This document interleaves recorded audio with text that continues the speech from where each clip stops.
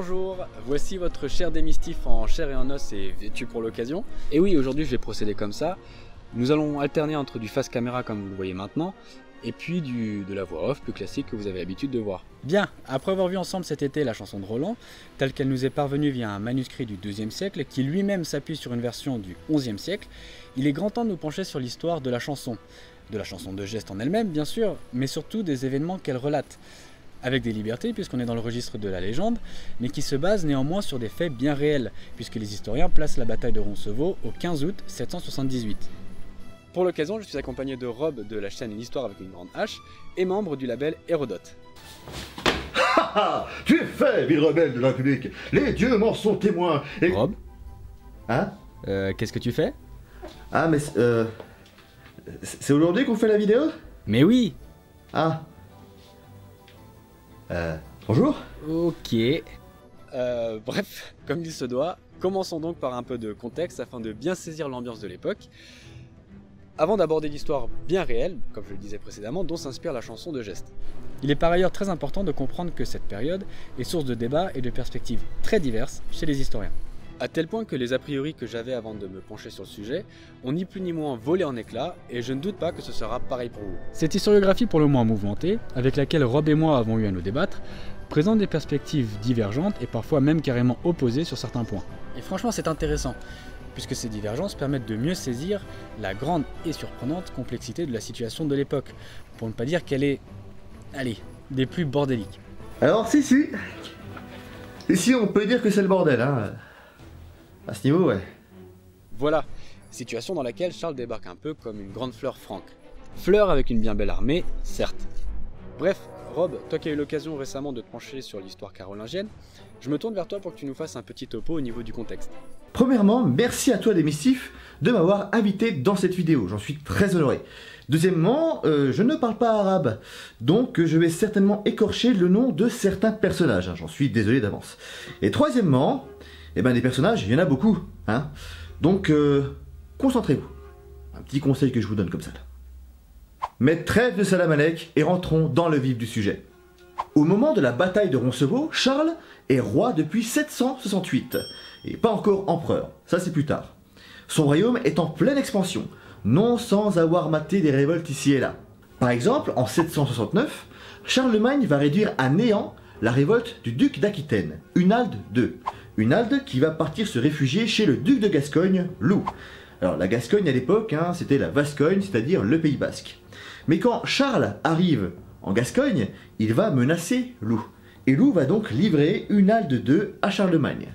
Et d'après René Musso-Goulard, Loup aurait même fait, je cite, reddition complète, se remettant lui-même, les siens, sa province, à la volonté du roi. En gros, il baisse son froc. hein. Mais en même temps, quand Charles s'énerve, il a un petit peu tendance à foutre les miquettes à tout le monde. hein. Donc ça peut se comprendre. Et toujours d'après René Musso-Goulard, Charles va en profiter pour réorganiser l'Aquitaine et la Gascogne, hein, en nommant par exemple des comtes francs à la place de seigneurs locaux, ce qui évidemment ne va pas plaire à tout le monde là-bas. Et en plus, il semblerait que pendant l'opération, Loup aurait perdu son titre de duc de Gascogne. Ah, c'est con. Alors, je sais, on est censé parler de la bataille de Roncevaux. hein. Mais si je vous parle du duc Loup de Gascogne, c'est peut-être pas pour rien. Il va peut-être revenir après. À côté de ces révoltes, Charles va agrandir son royaume. Cette expansion n'est pas une stratégie pleinement réfléchie en réalité. Ce serait plutôt des réactions face aux menaces venant de populations extérieures. La politique militaire de Charlemagne et de ses prédécesseurs serait envahir pour mieux défendre, selon Sylvain Guggenheim. C'est-à-dire qu'on va prendre des territoires, y créer des marches, des sortes de provinces militarisées, si vous voulez, qui vont servir de rempart pour protéger le cœur du royaume. Après avoir reçu en héritage les terres de son frère Carloman en 771, Charles va s'emparer du royaume des Lombards en 774, qui menaçait les intérêts francs depuis quelques années en Italie principalement. Et entre 771 et 778, Charles doit faire face aux Saxons, qui harcèlent très régulièrement, trop régulièrement même, ces terres du nord-est. Il va les affronter dans une guerre très difficile, très âpre, qui durera environ 30 ans. Et c'est alors qu'il est à Paderborn, en Saxe, alors qu'il décide avec une assemblée de nouvelles mesures à prendre contre les Saxons, qu'une ambassade musulmane en provenance d'Hispanie arrive. Nous sommes en 777. C'est pas la première fois que des contacts pacifiques et intéressés entre francs et musulmans adviennent. Il y avait déjà eu un cas à l'époque de Pépin le Bref, le père de Charlemagne, et ce entre Pépin et le calife Al-Mansour. Pépin envoie une ambassade au calife, L'ambassade revient avec une ambassade d'Al-Mansour qui donne des cadeaux à Pépin, Pépin qui offre des présents à destination d'Al-Mansour, donc on sauve des cadeaux, limite on ne se fait pas la bise, hein. et c'est pour ça qu'on pense qu'il y a certainement eu un accord diplomatique entre les Francs et le califat, et ce même s'ils étaient de religions différentes. Ce rapprochement peut s'expliquer pour des raisons stratégiques. Byzance, qui se trouvait entre les Francs et le califat abbasside, représentait une certaine menace pour les Francs justement, tant au niveau militaire que politique. Surtout qu'en plus, les Francs étaient alliés au pape qui, lui, voulait s'émanciper de la domination religieuse byzantine. Ils vont donc défendre une chrétienté version latine, comme le dit Sylvain Guggenheim. Et puis, euh, du côté des Abbassides, eh euh, les Byzantins, c'est un peu des ennemis. Donc, se rapprocher des Francs, c'était pas une mauvaise idée. Et puis les Abbassides voient d'un très mauvais œil l'arrivée d'un Omeyyade à la tête de la péninsule ibérique en 756, péninsule voisine des Francs. On en reparle après, hein, vous inquiétez pas. Mais cet échange diplomatique n'ira pas plus loin, car Pépin meurt en 768. Quand il voit arriver la délégation musulmane à Paderborn, il est fort probable que Charles ait encore en souvenir l'ambassade d'Al-Mansour, à l'époque de son père. Mais surtout, il est très très très probable qu'il entrevoit là un moyen pour consolider ses territoires du sud, notamment l'Aquitaine et la Gascogne. Il écoute donc ce que ces gens venant de l'autre côté des Pyrénées ont à lui dire. Donc si je résume, ce que tu nous dis en gros, c'est que Charles tient plutôt bien son territoire en main, territoire saxon mis à part bien sûr, n'a pas peur de coller des énormes beignes à ceux qui le chatouillent, et développe comme son père une forme de réel politique avant l'heure, donc une politique réaliste, qui fait qu'il n'a aucun mal à traiter avec des musulmans. Et qu'est-ce qu'il en est de l'Espagne à l'époque du coup? Concernant l'Espagne, euh, c'est compliqué. Pour changer. Alors, avant 711, l'Espagne, enfin, la péninsule ibérique, hein, parce que si je dis l'Espagne, les Portugais vont pas être d'accord, la péninsule ibérique donc est soumise aux Visigoths depuis la fin de l'Antiquité, qui ont fondé un royaume chrétien. Pour faire très court, hein, c'est plus compliqué que ça. Et à partir de 711, des forces musulmanes vont arriver par le sud et envahir toute la péninsule. Alors, ça ne veut pas dire que toutes les populations soumises aux musulmans vont devenir musulmanes. Hein. Non, non, non. Les chrétiens vont rester très nombreux dans la péninsule. Les musulmans vont appeler cette péninsule justement Al-Andalus. Et d'ailleurs, sachez que notre ami Romain de la chaîne Averroès en parle souvent. Allez-y, euh, c'est vachement bien ce qu'il fait. Al-Andalus d'ailleurs a donné le mot Andalousie. Hein. Bon, techniquement, en fait, c'est plutôt les Vandales qui ont donné le mot Al-Andalus qui va donner le mot Andalousie. Oui, parce que les Vandales aussi sont arrivés à un moment donné, euh, à, plus ou moins avec les Visigoths, enfin avant les Visigoths, parce qu'à la fin de l'Empire romain, si tu veux, sont en train de se péter la Euh, gueule. Rob, et que- tu t'éloignes du sujet là. Ah bon? Et oui. Ouais, non, mais je sais, hein, mais dès que je parle d'Antiquité, moi, ça, ça part tout seul, quoi. Je- Et pourtant, on parlait pas d'antiquité là. De problème. L'Hispanie est alors soumise au califat des Omeyyades. Mais les Omeyyades se font renverser en 750 par une révolte populaire qui met à leur place les Abbassides, qui deviennent donc califes à la place des califes. Ah, désolé Isnagoud, tu peux dégager, merci. Les Abbassides vont donc traquer et tuer tous les membres des Omeyyades. Sauf quelques-uns qui euh, ont réussi à s'enfuir, dont un certain Abd al-Rahman. Non, Raman, On n'est pas du tout dans le même pays en plus, je te rappelle. Hein, Merci. Abd al-Rahman, à ne pas confondre avec celui de la bataille de Poitiers, hein, va se réfugier un temps au Maghreb. Puis il décide de partir pour la péninsule ibérique.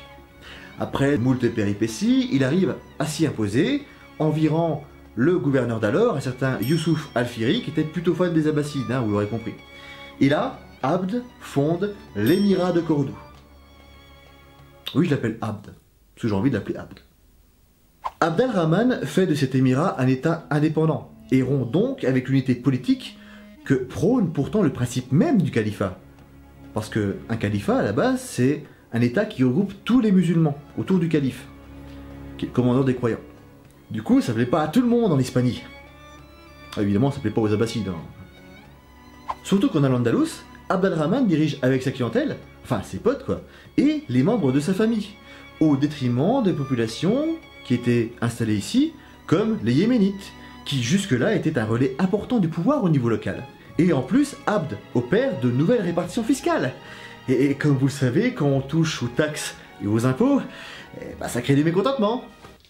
Ah, ça c'est un truc universel, hein. dans toute l'histoire humaine, je crois que tu touches aux taxes et aux impôts, ça gueule. Je me demande si quelqu'un a déjà étudié ce phénomène d'ailleurs. Hmm. Vous le comprenez, son pouvoir est très loin d'être accepté par tous. Par exemple, un chef musulman, Al-Allah el-Morit, se révolte au nom des Abbassides en 763 à Beja, dans le sud de l'actuel Portugal, ou encore un certain Suleiman, qui dirigeait les villes de Barcelone et de Gérone, décide de se soumettre entre guillemets. Je dis ça parce que j'ai trouvé le mot soumettre dans un bouquin, hein, donc je pense plutôt qu'il proposait une alliance à Pipin le Bref contre le nouveau chef de l'Hispanie. Vous suivez, sire? Bah ça va un peu vite, mais j'essaye, ouais. Vous le comprenez, Abd al-Rahman va longtemps lutter contre les potentats musulmans locaux qui refusent son autorité, notamment dans la vallée de l'Ebre, c'est-à-dire le fleuve qui passe par Saragosse. C'est le nom de la ville, hein, Saragosse. Hein. Ça, ne veut pas dire l'enfant de Sarah. Hein. C'est donc une situation instable dans laquelle l'émirat de Cordoue tient mal toute une partie de son territoire, notamment le nord qui va nous intéresser par la suite. On commence donc à sentir l'affaire venir. Eh oui, avant 777, une révolte contre l'autorité d'Abd al-Rahman gagne l'ensemble de la vallée de l'Ebre.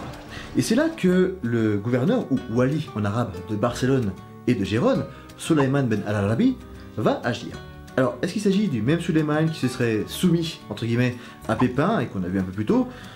J'en suis pas sûr, j'ai pas réussi à déterminer. Il y a de grandes chances, mais j'en suis pas sûr. Enfin bref, quoi qu'il en soit, Suleiman va s'assurer du soutien d'un chef arabe Al-Hussein ben Yahya al-Ansari, qui vient juste de s'emparer de la ville de Saragosse, et qu'on appellera Hussein, ça va être beaucoup plus simple. Hussein a donc pris la ville et a même capturé son gouverneur, Talaba ben Ubaid al-Judami, un fidèle d'Abd al-Rahman. Euh, Attends, c'est pas un général plutôt? En tout cas, c'est ce que dit euh, M. Goulard. Bah écoute, là, moi, euh, d'après Sénac, c'était plutôt le gouverneur de Saragosse.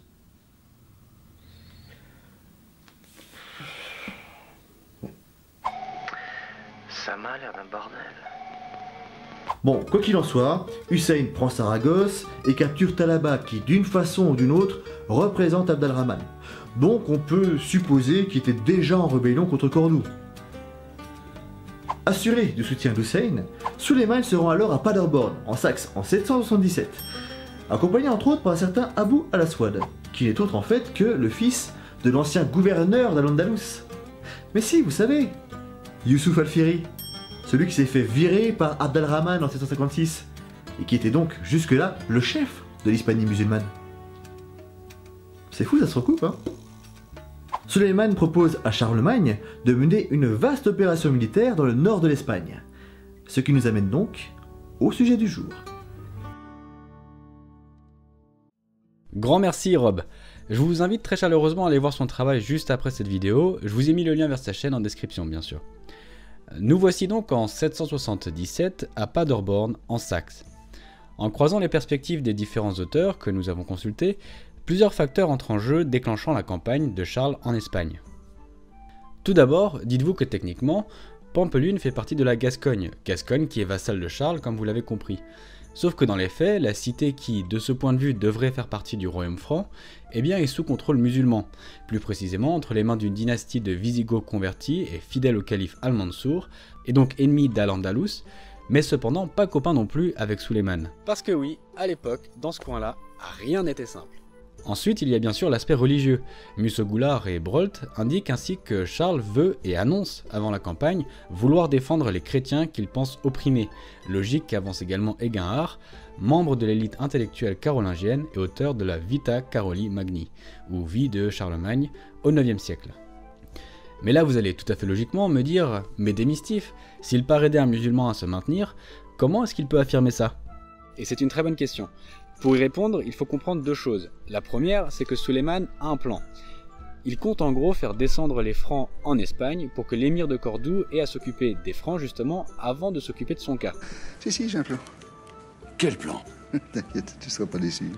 Ce plan, qui semble franchement foireux à première vue, n'est cependant pas absurde puisque Suleiman, dans les faits, part au plus urgent, de son point de vue, et pense que le chaos ainsi généré lui permettra, par l'intrigue, de tirer ses marrons du feu. Bref, tout est calculé par Suleiman. Seulement, Suleiman est nul en maths. Et c'est ce qui m'emmène à mon deuxième point. Charles ne semble pas dans les faits faire grand cas de la requête de Suleiman. Ce qui l'intéresse, c'est, selon les auteurs, la création d'une zone tampon au sud des Pyrénées et ou la récupération du territoire gascon occupé par les musulmans. Saragosse étant la principale position stratégique du coin, la requête tombe bien. Cependant, il semble que Charles ait également des vues sur Pampelune, la Gasconne. Certains auteurs vont jusqu'à dire que l'objectif principal de la campagne est cette dernière et non Saragosse. À cela s'ajoute donc un objectif religieux de libération des chrétiens du nord de l'Espagne qui semble tout à fait assumé et ce avant la campagne, comme l'attestent les échanges entre le roi Charles et le pape. Charles descend donc en 778 avec deux armées en Espagne, qui sont davantage préparées à une campagne d'occupation et de remise en ordre qu'une guerre de siège au vu de la situation qu'il pense identifier. Une première armée passe ainsi à l'ouest des Pyrénées, tandis que l'autre passe par l'est, chacune devant converger vers Saragosse afin de prendre la place qui devait leur être livrée. L'armée de l'ouest, logiquement dirigée par Charles au vu de ses vues sur la Gascogne espagnole, entre guillemets, s'empare sans réelle difficulté de Pampelune et de sa région, avant de laisser la ville entre les mains de Navaris ou Navarrais, qui semblent avoir été en pratique des guerriers spécialisés, hérités du système militaire et social wisigoth, et laisse également la ville entre les mains d'une dynastie visigothique locale, partiellement et visiblement superficiellement islamisée, et oui, même au sein des dynasties, c'est le bazar, du nom de Banu Kassi, avant de poursuivre. L'armée de l'Est, quant à elle, prend successivement Gérone, Barcelone puis Huesca, avant de rejoindre l'armée de l'Ouest devant Saragosse. Cependant, dans le panier de crabe qu'était ce coin-là à l'époque, dont Charlemagne n'avait visiblement pas immédiatement saisi l'ampleur, les choses changent vite. Hussein, qui tient Saragosse, évoqué par Rob et allié supposé de Suleiman, se retourne contre ce dernier, peut-être par crainte des Francs, comme le pense Klein, et semble avoir rejoint l'émir de Cordoue. Il refuse de fait d'ouvrir les portes de la ville, mais sache qu'elle agrémente bien sûr d'une volée de flèches pour faire bonne mesure. Ce Hussein est de fait représenté dans la chanson de Roland par le roi Marsil, tandis que Suleiman est peut-être incarné par Blancandrin. Les Francs tentent bien un siège, mais qu'ils ne vont pas pouvoir tenir, faute de préparation adéquate et de contrôle suffisant de la zone. Et de fait, panier de crabe oblige, il semble que les Banoukassi de Pampelune aient soulevé les Basques et les Navaris, Navarrais, contre les Francs, pensant que Charles avait les mains prises à Saragosse. Et aussi surprenant que cela puisse paraître, les Basques sont réceptifs à cette agitation. Bien que voulant se débarrasser du pouvoir musulman en place, ils ne veulent pas plus d'un autre souverain étranger, bien que chrétien. Mais revenons devant Saragosse. Les portes restent fermées et Charles y voit une trahison de Suleiman, qu'il va prendre en otage ou comme prisonnier, en réponse, le rendant responsable de la situation.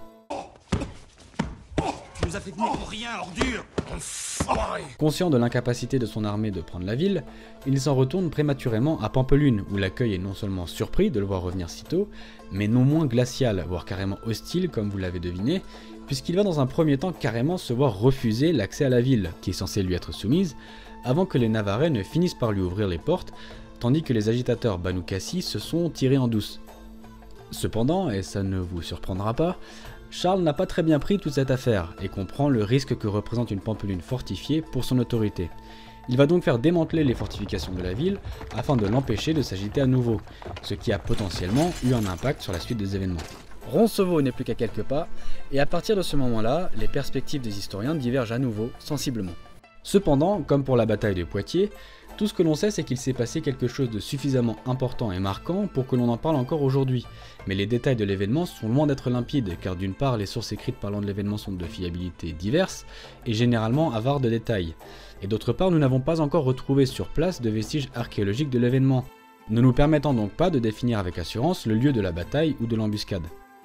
Nous allons voir ensemble quelques-unes des hypothèses qu'avancent les historiens concernant ce qu'il s'est passé le 15 août 778 au lieu que la chanson appelle Roncevaux. Selon l'historien Jean Favier, qui présente l'hypothèse la plus connue et généralement admise, et que partage Gérard Brolt, Charles décide de battre en retraite une fois arrivé à Pampelune, et fait démanteler bien des éléments défensifs de la ville afin qu'elle ne puisse plus se soulever contre lui. En gros, selon cette perspective, il espère que l'absence de fortification et position défensive rendra les Basques, qui se sont soulevés contre lui, moins audacieux à son encontre. Cependant, le calcul ne semble dans cette hypothèse pas être le bon, puisque les Basques veulent ensuite se venger. Mais avant cela, un premier accrochage a lieu entre l'arrière-garde de Charles et les fils de Suleiman, qui parviennent par un coup de main à libérer leur père ainsi que d'autres otages. Ensuite, l'armée franque entame son chemin dans les Pyrénées et doit passer par d'étroits défilés sur le chemin du retour, terrain idéal pour des embuscades et donc pour que les Basques puissent se venger des Francs. C'est donc les Basques, peut-être aidés de Navarrais et de troupes arabes, qui vont judicieusement laisser passer le gros de l'armée avant de prendre en embuscade l'arrière-garde de Charlemagne, qui est en pratique essentiellement le train logistique dans lequel se trouve une partie de l'équipement de l'armée, les prisonniers et les otages, euh, les richesses récupérées au cours de la campagne ou nécessaires au financement de celle-ci, ainsi que bien sûr les vivres et bien d'autres choses. Favier indique que cette arrière-garde était encadrée par son sénéchal Aiguillard, ainsi que plusieurs palatins proches du roi, et bien sûr le jeune préfet de la Marche de Bretagne, Roland, héros de la chanson de geste. L'historien favorise l'hypothèse d'un écrasement, entre guillemets, de l'arrière-garde franque. En gros, les Francs se sont retrouvés dans un étroit passage, se sont ramassés de nombreux cailloux et rochers dans la mouille, avant que les Basques ne viennent au corps à corps, le tout dans une ambiance chaotique pour les Francs, totalement pris par surprise et qui ne savent absolument pas comment réagir. Ce serait cet affrontement où Roland, plusieurs palatins proches de Charles et le sénéchal Aiguillard vont trouver la mort, qui correspond selon l'historien à la bataille historique de Roncevaux. Autre hypothèse, bien différente, les historiens Euclin et Sénac parlent quant à eux de la bataille comme étant la conséquence d'un règlement de compte dont les fils de Suleiman sont à l'origine, ce dernier étant le prisonnier de Charles suite à l'échec de la campagne, comme vous le savez. Suleiman va ainsi être libéré par ses fils au cours d'une embuscade tendue à l'arrière-garde franque, par des sarrasins donc, mais avec l'aide de Basques. Dans cette hypothèse, Roncevaux n'est donc une embuscade de l'arrière-garde franque menée par des sarrasins à la tête d'une bande incluant des Basques. Musse-Goulard est quant à elle plus acrobatique, puisqu'elle nous présente dans deux ouvrages distincts deux perspectives qui sont littéralement, diamétralement opposées. Et oui, dans son ouvrage le plus ancien, elle considère que la bataille de Roncevaux est une embuscade tendue par le duc Loup de Gascogne, évoqué par Robe et chassé par Charlemagne de son domaine. Loup a dans cette hypothèse fini par se réfugier à Pampelune, puis monte une embuscade avec l'aide des Basques contre Charlemagne, donnant lieu à la fameuse bataille de Roncevaux. Cependant, dans son ouvrage Roncevaux, samedi 15 août 778, elle nous fait un virage à 180 degrés et présente une perspective qui est diamétralement opposée à celle qu'elle présentait quelques années plus tôt, et cette perspective est donc également opposée à celle de Jean Favier. Elle est en revanche relativement proche, mais plus détaillée, euh, que les perspectives que nous présentent Euclin et Sénac. Ainsi, l'historienne avance que les fils de Suleiman, aidés des Banoukassi et d'une troupe qu'ils auraient levée, se sont dans un intérêt commun mis en quête de libérer Suleiman, ainsi que d'autres otages, dont deux étaient des Banoukassi. Elle considère ainsi qu'il n'y a pas eu de bataille à proprement parler, mais une embuscade féroce, ici menée par ce que l'Occident médiéval appellera des Sarrasins, prenant les Francs totalement par surprise. Les Francs ne sont ainsi pas capables d'offrir une résistance efficace et plusieurs proches du roi y perdent la vie, dont plusieurs palatins, incluant Aguiar, que Favier nomme Aiguiar, et bien sûr Roland. Cet incident, bien que mineur d'un point de vue stratégique, va selon l'historienne profondément marquer la cour carolingienne, puisqu'ils y laissent des proches. Vous avez donc un aperçu de ce que les historiens peuvent nous dire au sujet de cette bataille, et ce qui en ressort, c'est en gros quatre éléments. Premièrement, chacun considère que Roncevaux n'est pas à proprement parler une bataille opposant deux armées, mais une embuscade s'en prenant à l'arrière-garde protégeant le train logistique, dans laquelle les Francs se font, grosso modo, méchamment piétiner. Ensuite, il y a bien eu un accrochage entre Francs et Sarrasins, au sens de musulmans ou soumis à une autorité musulmane, au travers du coup de main des fils de Suleiman, mais pas forcément à Roncevaux, ni avec les mêmes troupes ou soutiens selon les perspectives. Troisièmement, les Basques sont explicitement de la partie pour Favier, Brolt, Euclin et Sénac, ainsi que dans la première analyse de Musso-Goulard. Leur place varie cependant grandement selon les versions. Par ailleurs, la seconde analyse de Musso-Goulard sur ce sujet, à quelques années d'intervalle, et donc sa prise de position la plus récente, prend nettement parti contre l'hypothèse d'une attaque purement basque et ne les mentionne même plus comme faisant partie de la troupe attaquant les Francs. Et le quatrième élément considère que de nombreux proches du roi sont morts ce jour-là, dont le fameux Roland, préfet de la Marche de Bretagne. Il n'est donc pas si surprenant que la chanson de Roland, apparue bien plus tard, s'inspire de cela et simplifie une situation qui est tout sauf simple, tout en se servant allègrement des grandes zones d'ombre de cette affaire pour transformer un événement historique, dont la portée stratégique semble relative, en une véritable légende remise au goût de l'époque. Tout comme les événements qu'elle relate, la chanson de Roland en elle-même présente certaines zones d'ombre. Il est considéré aujourd'hui que la chanson de Roland est issue de cantilènes, c'est-à-dire des poèmes médiévaux, lyrico-épiques, et bien sûr aussi de chants épiques. La version que nous connaissons et que nous avons eu le plaisir de voir ensemble est quant à elle issue d'un manuscrit du XIIe siècle reprenant une version de la chanson chantée en pays normand, datant probablement des années 1060 à 1070, c'est-à-dire à, l'époque de Guillaume le Conquérant.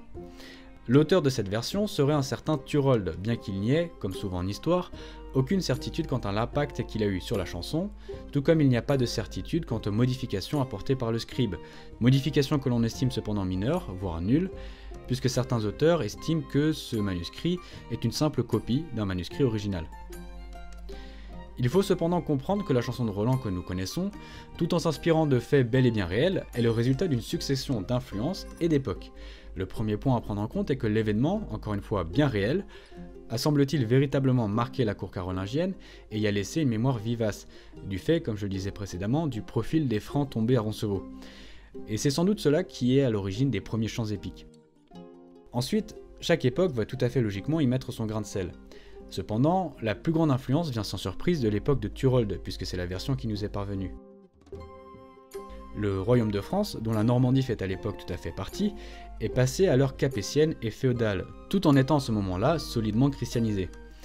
Sans oublier que plus au sud, la péninsule ibérique est secouée par les conflits entre chrétiens et musulmans, dans le contexte de la Reconquista, à laquelle ont contribué les Carolingiens dans un premier temps, puis certains nobles du royaume de France, dont l'un des exemples les plus frappants est le comte de Toulouse, Raymond de Saint-Gilles, que l'on retrouve plus tard dans la première croisade, croisade que raconte très bien l'excellent Hérodote.com. Le temps et l'imagination des artistes ont fait du sarrasin, notion vague désignant des musulmans, ou même simplement ceux qui sont du côté des musulmans, quelle que soit leur foi ou leur origine, ont fait des sarrasins l'ennemi idéal, alors que l'Église commence à justifier petit à petit la violence dans un but religieux. C'est tout cela au final qui a donné lieu à la chanson de Roland. Certaines libertés de prise avec l'histoire, d'autres libertés artistiques, et la légende même de l'événement qui débute rapidement, ont permis à ce monument de la culture médiévale de prendre corps.